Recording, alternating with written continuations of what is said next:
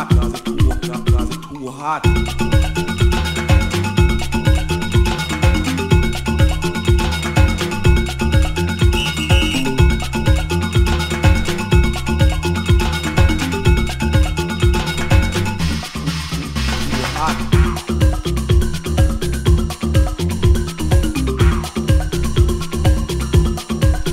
Too hot.